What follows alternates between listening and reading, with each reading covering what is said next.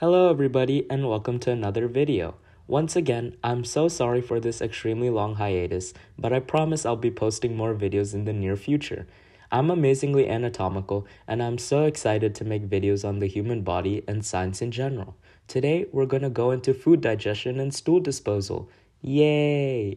In a more scientific sense, we're going to explore the anatomy of the digestive system and diseases and disorders that can result from imbalances in the digestive system, and as usual, all from the high school perspective. Let's dive in. Like with the other anatomical systems I've made videos on, let's first talk about what the digestive system exactly is. Our digestive system is made up of our gastrointestinal tract, our liver, pancreas, and gallbladder. This system is extremely important because it turns the food and drinks we consume into energy and nutrients needed for survival. Without these nutrients and energy, which comes from proteins, carbohydrates, and fats, our body would function poorly, wouldn't stay healthy, and struggle to grow and repair cells in our body.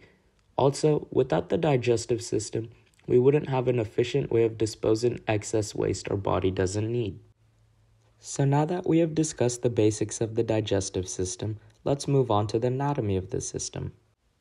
To be more specific, our GI tract consists of the mouth, esophagus, stomach, small intestine, large intestine, rectum, and anus.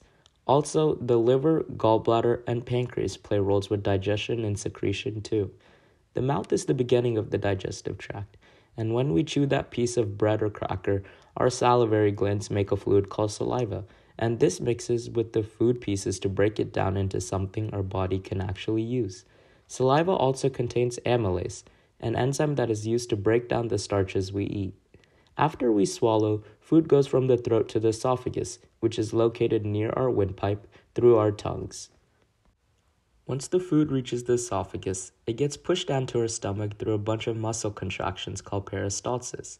Fun fact when we swallow, we have a small flap called the epiglottis that folds over the windpipe and prevents food from entering it. If food does enter the windpipe, that is how we choke.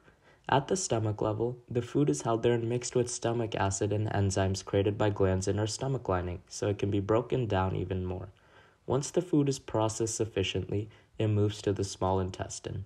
The small intestine is a long tube that breaks down proteins, carbohydrates, and fats using enzymes from the pancreas and bile from the liver. The first segment of the small intestine, the duodenum, is responsible for the breakdown. The jejunum and ileum, which are the lower two parts, are responsible for absorbing nutrients into our bloodstream. It is important to note that food is liquid after passing the small intestine, and after all the nutrients are absorbed, the remaining liquid moves to the large intestine. Before moving on to the large intestine, let's quickly talk about the pancreas, liver, and gallbladder. The pancreas is responsible for creating digestive juices filled with enzymes that break down carbs, proteins, and fats. This juice is transported to the duodenum in the small intestine through ducts.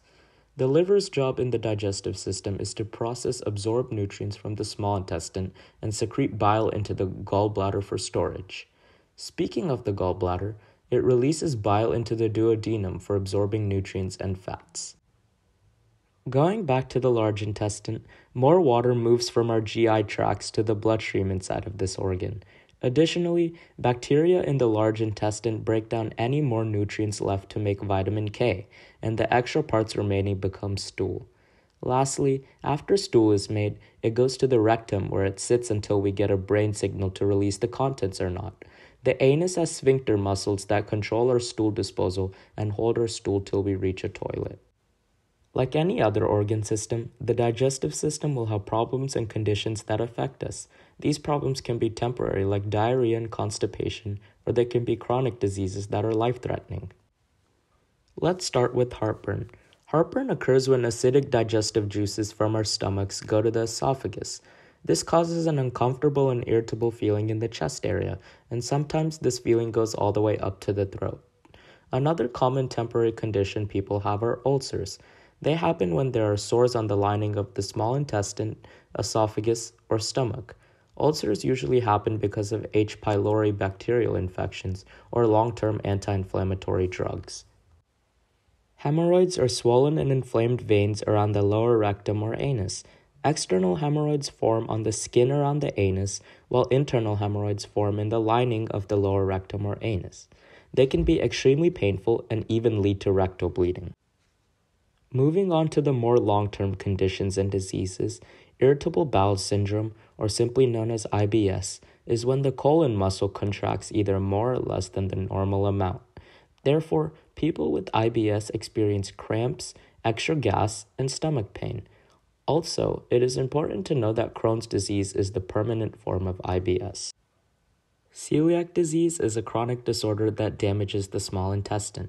It can happen when a person with the disease eats food with gluten, and it can prohibit the body from getting all the nutrients it needs. Diverticulosis occurs when diverticula, or pockets and bulges that form on the colon wall, push outward through weak areas in the wall. Diverticulosis is characterized as diverticular disease only when symptoms, bleeding, or any troubles occur. Just like the other organ systems, people can have cancer that affects organs and tissues in the GI tract which is why they are called GI cancers. The most common GI cancers are pancreatic cancer, esophageal cancer, liver cancer, and colon cancer. And that's the end of the video. I know that was a lot of information, but if you're interested in learning about anything else, please let me know in the comments below. Also, if you guys can, leave a like and subscribe to my channel and check out my previous videos. Thanks for watching, and I'll see you guys in the next one. Bye.